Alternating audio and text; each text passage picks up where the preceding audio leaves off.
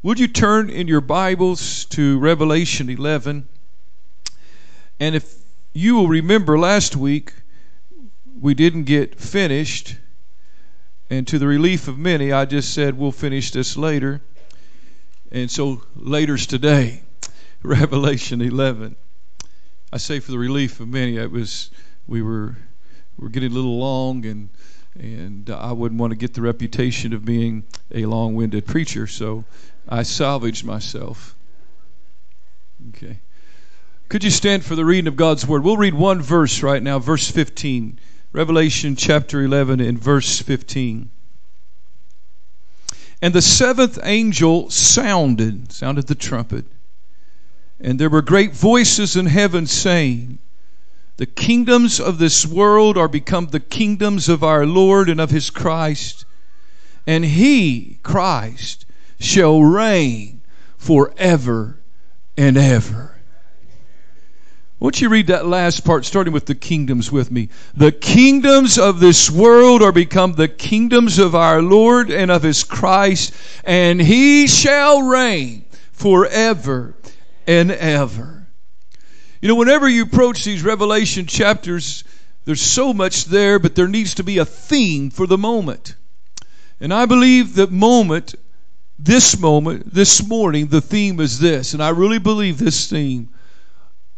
Those that are truly prepared for the coming king are those whom the king already rules from the throne of their heart. That's it. Those that are truly prepared for the coming king are those whom the king already rules from the throne of their heart. Amen. Let's pray. Heavenly Father, Speak through the preaching of the word. Help us to hear from heaven. May Jesus be exalted. Lord, we feel your presence here, but as we preach, may there be a growing sense of your presence as you speak to us, as you encourage, as you challenge. Lord, as you strengthen, Lord, perhaps you even convict of the life that is, isn't being lived under your lordship. And Lord, give us a time in these altars where eternity draws near. And God, help me as I preach. Help me Lord, to have all distractions removed internally, Lord, and externally, that I could be shut up with your truth. Oh, Lord, help us to feel the presence of the Holy Spirit at work. Holy Spirit, anoint this servant in Jesus' name. God's people said, Amen. You can be seated. There are certain buzzwords, it's usually the media that propagates them, but they go in and out of fashion. And a buzzword that's in fashion right now is regime. And actually, that started back at the Bush administration, maybe a little bit before, but folks started talking about a regime change. And that's what I want to preach about today the regime change. And they were talking about in Iraq, and now later they've talked about it in Libya and Syria, but they talk about a regime change. A regime is a changing, a regime change is a changing of what's in power, a changing of the government that is in power and has authority. There's also a radio commentator, I wouldn't mention his name, but he keeps the word alive because that our current president seems to make a lot of executive orders going around circumventing Congress. This commentator talks about this current administration being a regime. And I'm not looking at that in the political sense. It's just to know that that word is being used and being thrown around has become a buzzword. What is a regime? A regime is a period of rule. It's the time when one individual person or one government is in power. I want you to know there's going to be a regime change. It is coming. The coming of Jesus Christ, our Lord, will institute the regime change of this world. It is going to happen. I know God is ultimately in control, but He has allowed Satan, the prince of the power of the air, He's allowed Satan for a time, for a period, to have power over this earth and to rule over this earth. Yes, now get this clear. Yes, God is ultimately ultimately in control. But I want you to know Satan does rule this world. It's, it's an ability that is given to him temporarily of God. But Satan rules this world. He rules the institutions of this world. If you don't believe he rules, let me make this statement. He rules the entertainment industry of this world. He rules the governments of this world. Let me back up. Why do you think there's so many movies about zombies and, and horror and death and, and evil? I'm telling you, because he rules. He rules in those things. I mean, I could talk about how he rules the governments, but the most frightening thing is Satan rules the hearts and the minds minds and the souls and the lives of billions of people. Even Satan is in control of their life. I've heard young people when I talk to them about commitment, they'll look at me and say, I'm through with that church. I'm of age now, and I'm going to do my own thing. I'm going to do my own thing. You know what bothers me about that? When somebody says, I'm going to do my own thing, I'm going to live my own life, why is it they always go out and do the very thing that Satan would have them do to destroy their life? You see, when you say I'm doing my own thing, you're really not. You're doing Satan's thing.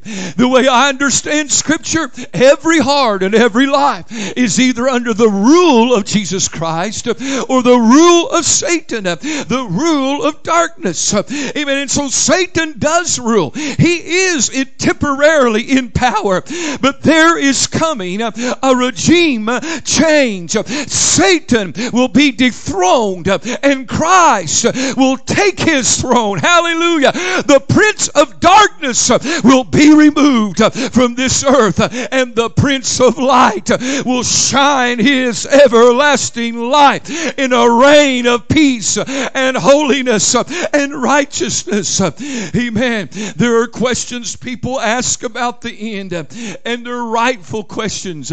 Someone may ask, Am I prepared for the end? They may ask, Am I prepared for Jesus coming? Am I prepared for the judgment? I need, or you need, or we need only answer one question Is Jesus the King of my life? Is Jesus the King of my I tell you who's ready for the end, who's ready for the judgment, who's ready for the things to come. It is those who Jesus is Lord and King of their life. Am I am not ready for the coming King unless He already sits on the throne of my life. Jesus is coming to set up His kingdom visibly on this earth. His kingdom's already here invisibly through His people, through the church, through the power of the Holy Spirit. But He's coming to set up His kingdom visibly. And here's the problem our society is not used to the surrender to a higher power.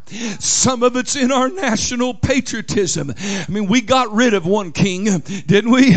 Amen. So we don't want to surrender to any power as individuals. This is the frightening thing. Going clear back to Joshua, we're living in a society where every man does what is right in his own eyes.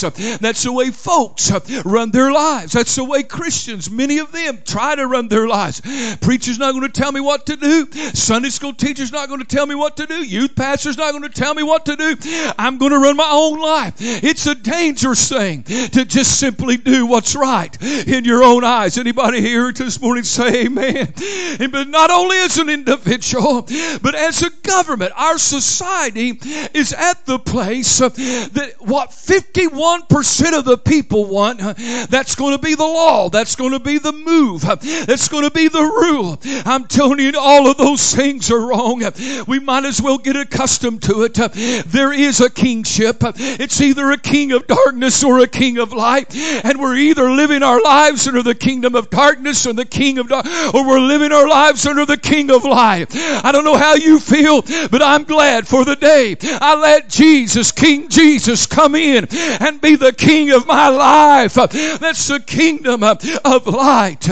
I know it has become a cliche. You heard it much back in the 70s and the 80s. The cliche about there being a throne in your heart. The preacher would preach at Brother Steve, and then he would ask the question Who sits on the throne of your life? Who sits on the throne of your heart? Is it self? Is it lust? Is it sin? Is it your own way? Your, or is it Jesus that sits on the throne of your heart? For so many, it's self that sits on the throne. I'll do it my way. I'm self sufficient. I'm going, I'm going to have it my way. I'm going to do my thing. It's all about me. Self, that's a miserable person right there. It may not have caught up with you yet. Amen. But it'll make you a miserable person. Oh, but it doesn't have to be that way because Jesus can sit on the throne of your life, your heart, your thoughts, your future. I'm telling you, if you've got Jesus on the throne of your heart, you're ready for the coming King because He already rules your life. He's already in control. Oh, hallelujah. He is Lord. He has risen from the dead and He is Lord. There is a test of whether Jesus is king or not of one's life. And it's an easy test, and Jesus gave us the test. Jesus said in Matthew 6 33, But seek ye first the kingdom of God and his righteousness, and all these things shall be added unto you. Could I preach this morning? If Jesus has not come first in our lives, he is not king of our lives. Amen. Does his word come first? Does his church come first? Does prayer to Him come first? Amen. Does His will in your life come first? If He does not come first, He is not King of your or my life. And listen this morning, I know the Spirit of the Lord is here. And if you have any sense of God's presence, if you have any sense of the moving of the Holy Spirit, you would know exactly the thing in your life that inhabits the throne of your heart rather than Jesus. If that's a true thing in the moving of the Spirit, you know the thing that's on the throne rather than Jesus. I want to tell you for your current peace and for your eternal salvation. If it's not Jesus on the throne, bow heart and life to Him in repentance today and say, Jesus, I've let other things on the throne of my life. Oh, and I regret it. But Lord, would you come and inhabit the throne of my life? Hallelujah. Hallelujah. Satan and darkness have control of it all, or at least it seems that way. Even everywhere we look, it seems He's in control. But aren't you glad, church, there's going to be a regime change? It is coming coming. And all of those who have prayed the prayer I just mentioned, Jesus inhabit my throne, they will be ready. Amen. Let's look at the terror that results from the coming king.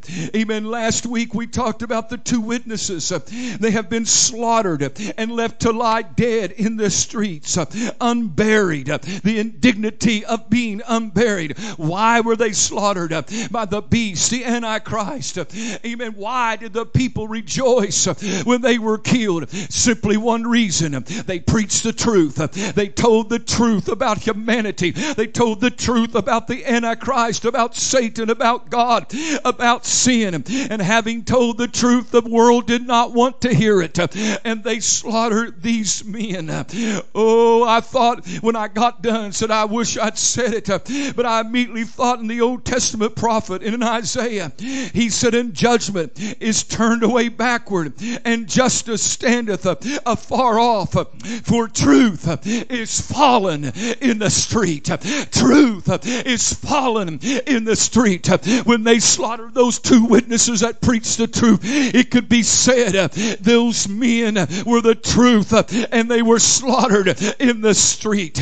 But three and a half days later, the Spirit of life, the Spirit of God, the Holy Ghost of God entered into those decaying bodies. Their soul and spirit came back and they rose up before the eyes of the world, resurrected. And the Bible says this world was filled with fear. Why? They're being deceived by the Antichrist. They're seeing false miracles. They've seen the false preachers with the false miracles. But when God resurrects those two witnesses, There's nothing false about that. Their bodies have been decaying before the TV cameras, and now they're standing up. And not only did God resurrect them, He raptured them, He took them to heaven, and the whole world feared. Hallelujah. I'm telling you, we need a moving of the power of God that will cause a fear to enter into men's hearts when they see with whom we have to deal. Hallelujah. How many knows He's got all power in heaven and earth? How He can resurrect you this morning. Your heart's dead, your mind's dead, spiritual life is dead. He can resurrect it. Hallelujah. We are witnessing the death of truth, but the truth is going to rise again, even in America. Verse 13 they're already fearful, but at the same hour there was a great earthquake. The tenth part of the city fell. In the earthquake, and in the earthquake was slain of men 7,000. And the remnant were affrighted, and they gave glory to God. Now we got to get this. They're frightened. This is these, are wicked people. These are people that killed the two witnesses. They're frightened, scared out of their gourds. I mean, they were just terrified at this display of power. And they gave glory to the God of heaven. Now, listen, folks misunderstand this. They say, well, these folks got saved, didn't they? They're giving glory to the God of heaven.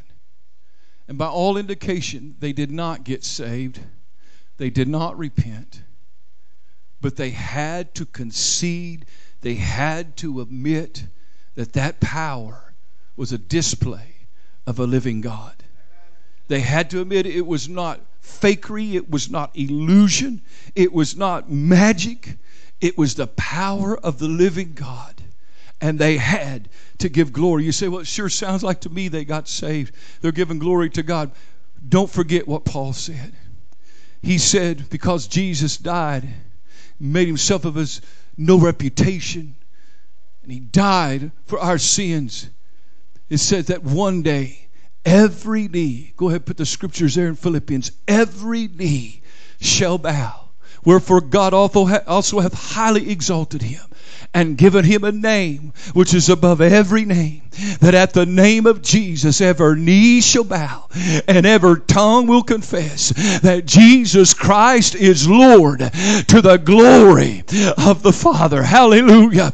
Hallelujah. They didn't get saved, but his power was so undeniable and real, they had to bow their knee and say, We have refused him, we have rejected him, we have slandered him, but we must admit, we must acquiesce that He is the Almighty, living, true Lord and King of all the earth. I'm telling you, every knee is going to bow. Every knee of every hypocrite, every knee of every backslider, every knee of every atheist, every knee of every agnostic, every knee of every Muslim, every knee of every Hindu, every knee of every person will bow and confess that Jesus is Lord. I'm telling you, everybody's going to bow either now or then. I've got some advice. Bow your knee now. Say, You're my Lord. Forgive me. You're my Lord. Save me. You're my Lord. Take control of my life. You're my Lord. Live on the throne. Do it now that you might not have to do it later. I'm telling you, I want to bow to Him. We're thrilled to think that Nero will bow. We're thrilled to think that Hitler will bow. We're thrilled to think that evil atheists will bow. But the question is, am I bowing in full surrender to the Lord? And then in these verses, we have the trumpet that announces the coming king. Verse 14 The second woe is past, and behold, the third woe cometh quickly. Just a quick, quick review. We'll, we'll get to this. Do you have the one with the seven seven seven there? And if, and if not, I'll just I'll just explain it one more time. We started off with the vision of seven seals. The first four of those horsemen and horses that wreak havoc upon the earth. And that fifth seal, we read, we talked about that. Those souls waiting for vengeance. And the sixth seal, the cosmic disturbances. And then there was an interlude before that seventh seal, and we discovered that in the seventh seal were seven trumpets. And those first, those first four trumpets, when they were sounded, was judgment poured out upon men's environment, sea and land. It was awful destruction. And then the next two trumpets, they were the, the awful demonic forces that were unleashed from the abyss, the abyss, the bottomless pit upon man himself, tormenting spirits, painful spirits. But if you'll remember in the sounding of the trumpets, after those first four trumpets had sounded and, and, and, and, judgment had come upon the environment of men, there was an angel eagle that circled, hovered midair above the earth and screamed, the bird of prey screamed, Whoa! Whoa! Whoa! In modern language, doom! Doom! Doom! Three woes are coming. In other words, things have been bad, but they're going to get worse. Those first two woes were the fifth and sixth trumpets. That's when we're demon- that's when demonic forces were unleashed upon the earth. Then in chapter 10 and now in chapter 11, we've had an interlude before that last trumpet is sounded. And that last trumpet represents the last woe, that third woe. And we're going to discover that that last trumpet is when Jesus comes as judge of all the earth. Verse 14 again, the second woe is past, and the third woe cometh quickly. That last trumpet is the trumpet announcing judgment. And who's going to judge? The King, King Jesus. Verse 15.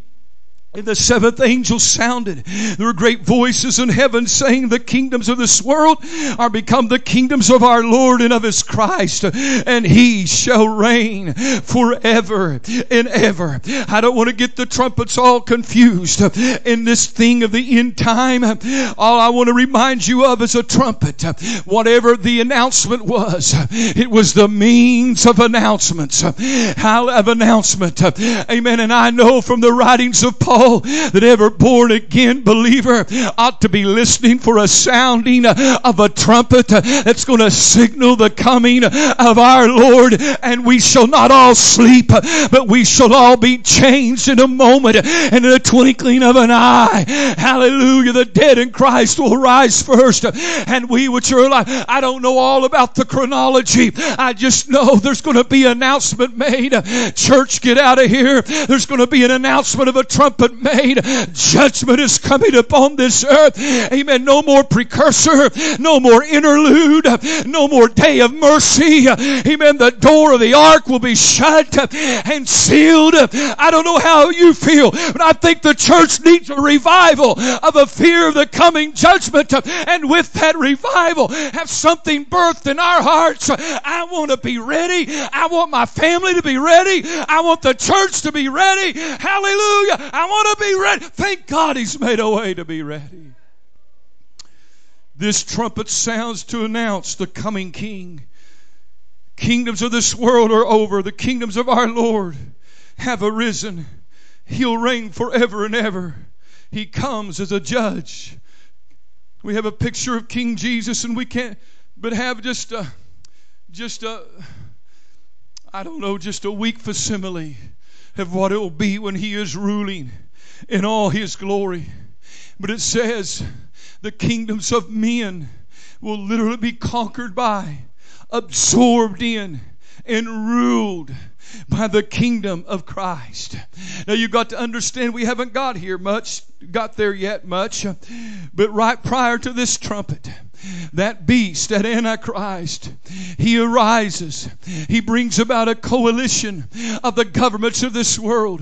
And this has been clamored for ever since the ending of World War I and even before. This one world order, this one world government, everybody coming together in one government. It's going to happen under the Antichrist in a rebellion against God and everything that is holy, everything that's absolute. Men will coalesce together and form form a one world government, but they won't have it long. I said they won't have it long because Jesus is going to come and every kingdom of man will become his kingdom. In other words, what I'm saying is there is going to be a one world government, but the Antichrist isn't it. The one world government is when he comes and he rules and he, oh, he must rule until he hath put all enemies under his feet. And the last enemy to be destroyed is death, but the dead in Christ shall rise. Hallelujah. Hallelujah. I'm telling you, he rules and reign. The devil's but a temporary reign, but one day we will see it. We will see it, ever knee bowing, ever tongue confessing, and Jesus ruling, not invisibly, but ruling visibly in this world. Hallelujah. How many wants to be a part of that? Oh, hallelujah. Then we see the 24 elders. We've seen them do this several times. They're worshiping the coming King. I mean, you think Pentecostals stand up and sit down a lot. These 24 elders, they just get seated and somebody says, Praise the Lamb. Oh, praise the. They get up out of their chair and they throw themselves down, bowing, and throw their crowns down and worship the Lamb. And the trumpet sounds, the King is going to earth to rule the 24 elders, verse 16, which sat before God on their seats, fell upon their faces and worshiped God, saying, We give thanks, O Lord God Almighty, which art and wast and art to come, because thou hast taken to thee thy great power and hast reigned. Oh, thank God for worshipers. I've said often in this series if, if you're not comfortable with worship, you probably don't want to go to heaven. Because that's the main occupation of heaven is worship. Even in church, we've made it about us, our talent, our resources, our ability. Look how good we are, how well we sing, how pretty we are. I'm telling you, there's none of that in heaven. It's all about Jesus. It's all about the Lamb. Oh, they fall down to worship Him and to give praise to Him. Brother Heath and I was talking about worship Wednesday night. And I just talking out loud. He knows all these things, but I'd say, you know, in the Greek, the word for worship it literally means to kiss towards, and it came from the time when the underling, the subject, would come in the presence of the conquering king, and he'd throw himself down on his knees and upon his face at the king's feet, and he would literally kiss the king's feet or the ground at the king's feet. However, you look at that, that's homage, that's reverence, that's respect, that's an acknowledging of the ruling power. You know, we have not worshiped. We can do our little ditty, you know, we can throw our hands back and say, Thank you, Jesus, and go through our ritual, but we have not worshiped until our hearts are in the state of surrender. Our hearts are in the state of yieldness, saying, He is King, He is Lord, His word is the rule of my life. Oh, I want to be a true worshiper, don't you? I said, I want to be a true worshiper. They fell down to worship Him. They acknowledge His supremacy. They acknowledge His power and authority. They see it clearly. What this world cannot see. They see that Jesus reigns, Jesus rules, Jesus is in control. And I want you to know, even though these are occupants of heaven, I want you to know their reverential fear. I'm not on a soapbox, but I am concerned. We're raising a church world in our society that has no fear of God. They move frivolously into the church. Their worship is frivolous, indistinguishable from an audience at a ball game. Amen. No reverence. I'm telling you, when we come to the house of God to worship Him, there ought to be a reverential fear in our hearts. Amen. There's no one like Him. He's a mighty God. We're not here to play games. We're not here just for social interaction. We're here to worship the one true living creator, redeemer, almighty God. And those 24 recognized that. Verse 18, they said that thou shouldest give reward unto thy servants, the prophets, and unto the saints, unto them, here's the reverential fear, unto them that fear thy name, both small and great. We don't have a phobia of God, but we have a reverential fear of God. I want to tell you, God isn't the big man upstairs. God isn't Santa Claus. God's not the ultimate God, uh, grandfather. God's not a genie in a bottle. He is God. There's none like unto him. There's none compared unto him. There's none beside him. He's all knowing. He's all powerful. He's everywhere present. He is everlasting. Hallelujah. There's none like him. He is God. We don't play games. We don't bargain. We don't negotiate. We just say, You are God. And we give our lives to him. Oh, why don't we just stop, pause and worship him? Oh, hallelujah. Come on, let's worship with reverence and godly fear.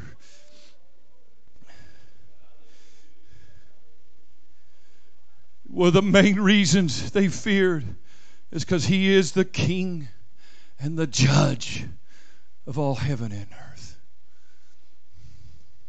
I'm not going to digress. I'll just make a simple statement. Forget science. The thing about behind the whole evolutionary Big Bang, etc., is a moral thing.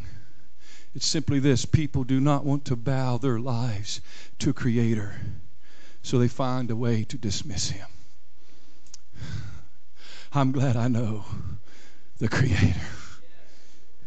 I got to thinking about this fear some time back. We went to the Grand Canyon, and I want you to think about the Grand Canyon. It's a place of beauty, majesty, and wonder. But why does it have beauty and majesty and wonder? Because the fear you have when you look over the rim.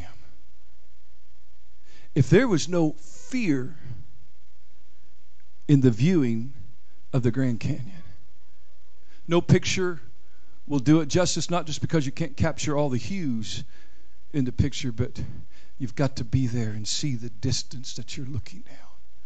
And if you take the fear out of the experience of the Grand Canyon, you also take the majesty and the wonder and the awe. And I'm telling you, listen to me, please listen to me. The church has lost its sense of wonder and awe in worship because it's lost its sense of reverential fear. You can almost, you can't hardly resist getting as close as you can to that rim and looking over. But it's that pull, that fear, that makes you stand there and wonder, amazed. And I'm telling you, to fear God isn't to repulse the soul of man.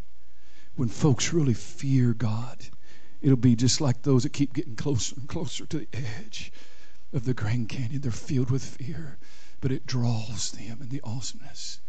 I'm telling you, if we could see God and who He is, oh, there'd be majesty. We've sung it 2,000 times that we would start singing. Then sings my soul, my Savior God to Thee. How great. Except with God, we're not doing this, we're doing this. How great Thou art. A reverential fear. Hallelujah. I said a reverential fear. Why can one laugh with their neighbor about some nonsensical thing while the church is worshiping? No fear. Why can somebody check their Facebook status during the preaching? No fear. Why can one bend over the pew like he's praying, but the whole time he's connecting to an online game? No fear. Why can somebody watch movies with sexual, occultic, anti God themes and never worry about not being ready for Jesus to come? No fear. I'm not going to bore you with old stories, but I remember in sixth grade, I got to sleep over with a friend. He had a TV, we didn't. TV went off at one or two o'clock, but they had a they had an Elvis marathon going where they playing Elvis movies. And we stayed up till the TV went off watching Elvis movie, and I didn't sleep the rest of the night. I just knew Jesus was going to come, and I've been watching the Elvis movies. We need some kind of fear like that. I'd been involved with the wrong king. yeah.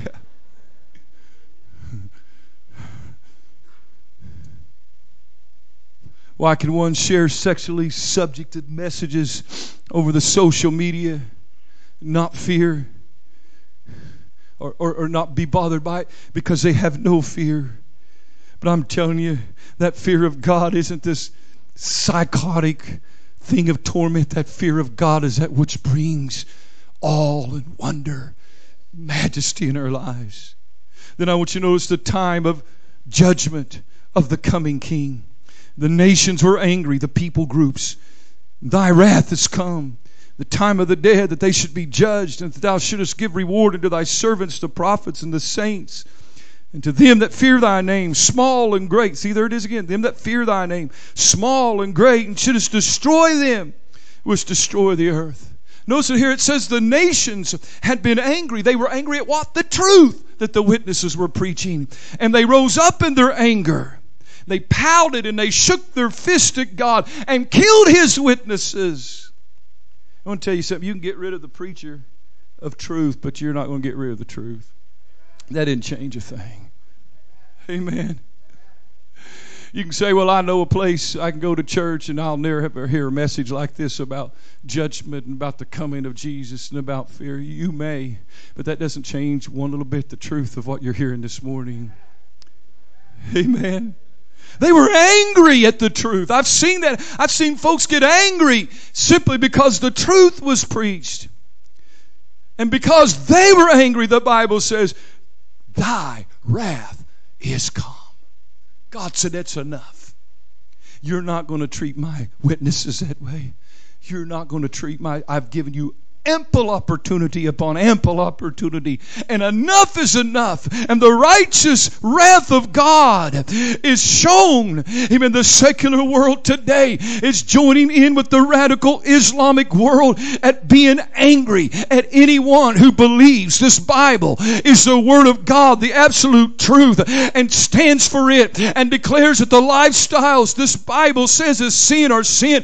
Our secular world is coupling with the radical Islamic world at being angry at Christians. Uh, and you can say, You're way out there. Listen, I'm not even a prophet. I don't claim to be. I mean, the best I can claim is to be a teacher. So this is just a teacher talking. But I see it coming. There's a growing wrath and anger towards any of those that would stand for truth. But I'm telling you, let this world get angry. Because when it gets angry, God's wrath is going to say, That's enough. You don't treat my, you treated my truth truth that way once.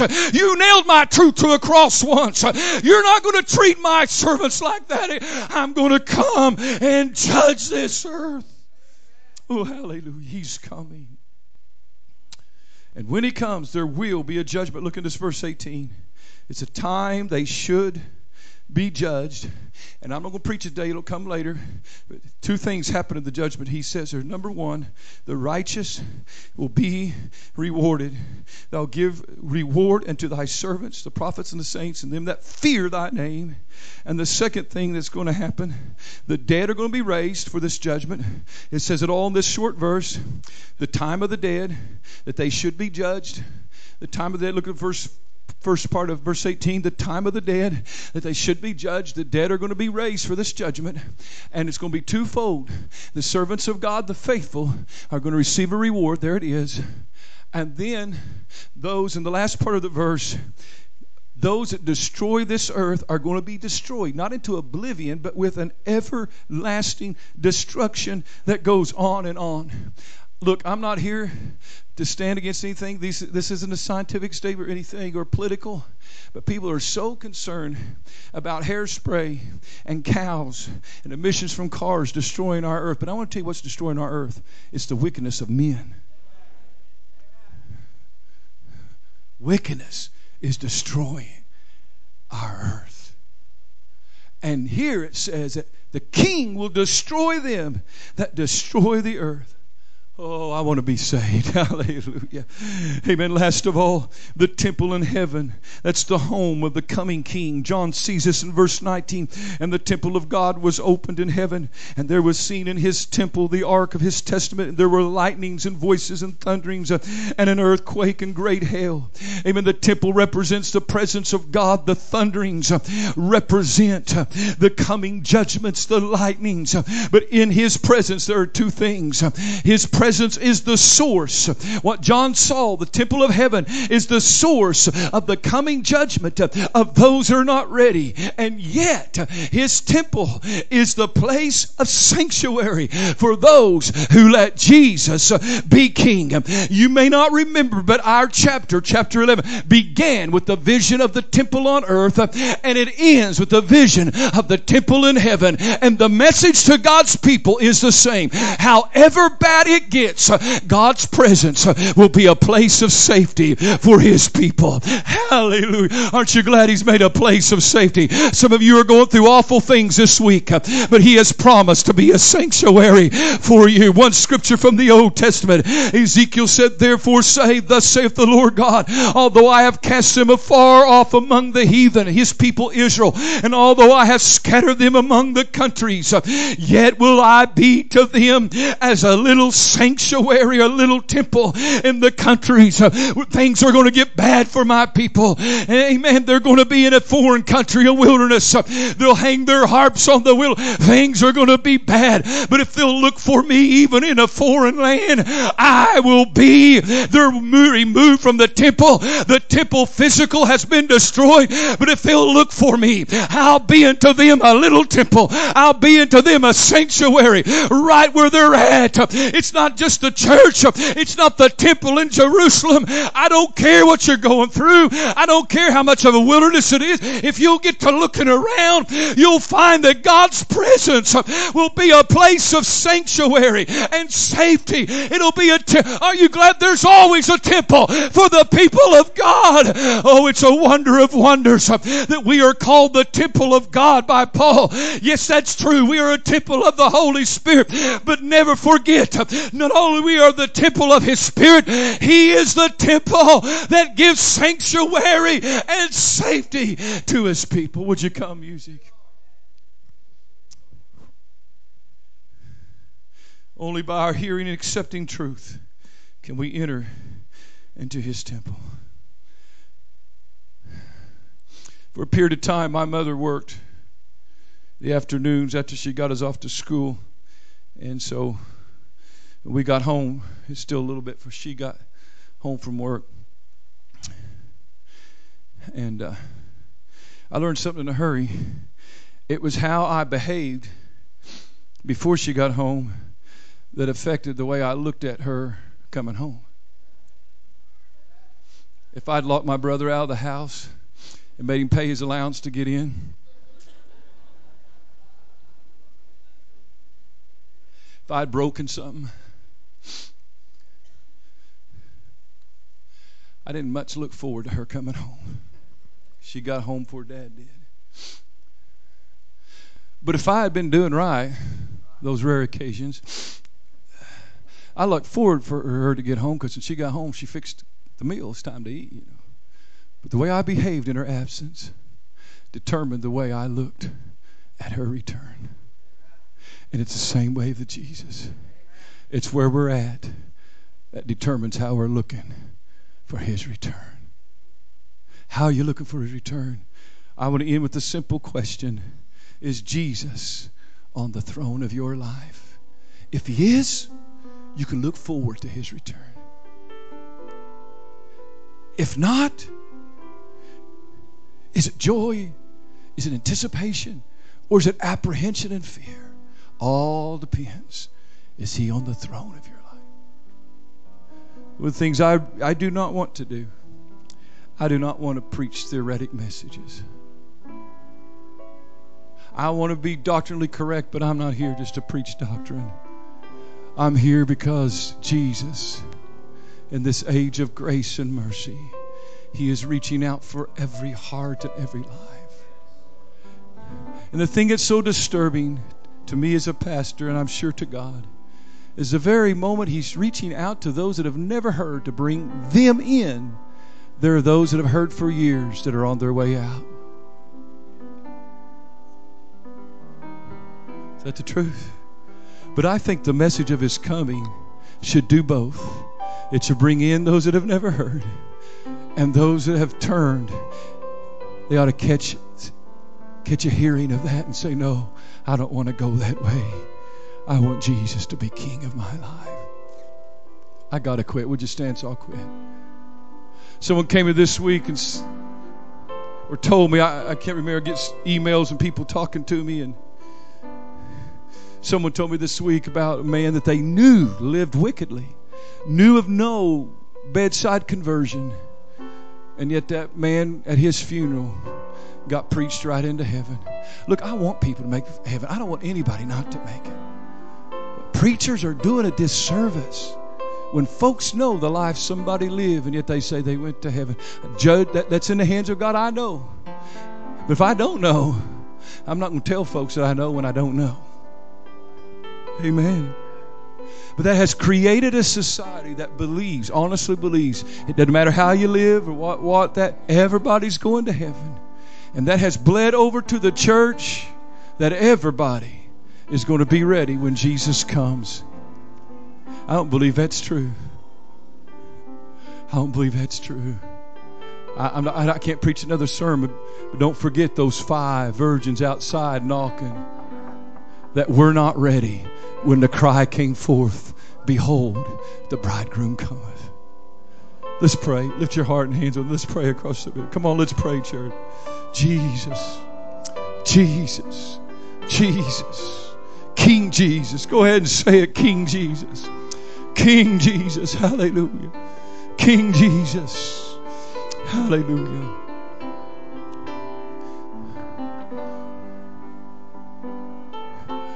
What about it? Is he king of your life? Does he rule from your life? I wonder if we just be honest. Everybody's praying anyway. We don't have to bow our heads or anything. People are praying. Folks are talking to God. But you're here and you say the honest answer to the question, is Jesus on the throne of my life? The honest answer is no. If that's you this morning, God's here to help you. He loves you. And if you answer the question, no, Jesus is not on the throne of my life, would you begin to come right now and fill these altars and say, Jesus, take up the throne. Get that other thing off the throne, Lord. Help me to excise it off my throne and let you rule from my throne. Would you come right now? Don't hesitate. We're talking about eternity right now. Amen. Come on, listen to the Holy Spirit. Amen. Anything, amen, other than Jesus is on the throne of your life. And you say, I don't want it to be that way. I want Jesus to be on the throne. Remember the premise this morning. Only those whom have Jesus sitting on the throne of their life will be ready for the King. Amen. Amen. Would you come? Anybody else? Amen. Are there others? I know God's talking to you. Don't hesitate. Just go ahead and come. See, I cannot honestly say that Jesus is on the throne of my life. Hallelujah. Come on, church. Let's pray. Amen. Anyone else like to come? See, I honestly can't say. I honestly can't say. Hallelujah. Hallelujah. Oh, hallelujah. Oh, hallelujah. I said, Hallelujah. Let's pray one more time. God, move by your Spirit. Oh, God, may there be a stirring. May there be a shaking. May there be a moving. Lord, help us to realize we're on the precipice of this thing. We're on the brink of this thing, Lord. And you're getting a group of people ready to leave. Hallelujah. Hallelujah. Hallelujah. Let me put it this way. Amen. There's something in your heart that says, I want to be ready when Jesus comes, when Jesus returns. If you can answer that this morning, if you can say, There's something in my heart that says, I want to be ready when Jesus comes, would you come and fill these altars? Amen. Say, Lord, I'm bowing to you right now. I'm bowing not only physically, I'm bowing everything in my heart, I'm bowing everything in my life. Bowing my mind, my emotions, my life total and complete. Hallelujah. I'm giving my all to you. Hallelujah. Amen. Answer the question as you bow. What's on the throne of my heart? Amen. Who's on the throne of my heart? What's calling the shots in my life? What am I listening to? What am I in bondage to? Amen. It can be Jesus, King Jesus, ruling and reigning supremely. Oh, come on, church. Fill these altars. Let's pray this morning. Let's call out to Him. Let's reach out to Him. Hallelujah. If you're here this morning and Jesus is not Lord of your life, you've never surrendered to Him. Oh, He died for you. He wants to meet you in these altars. He wants to change your life and your eternity. Hallelujah. Hallelujah. Just bow your heart to Him. Oh, He's King. He is King. He is King. Come on, church, let's pray. Hallelujah. Hallelujah. Hallelujah. He is King. He is Master. Hallelujah. Oh, hallelujah. Oh, hallelujah. Oh, hallelujah. Oh, hallelujah. Oh, hallelujah.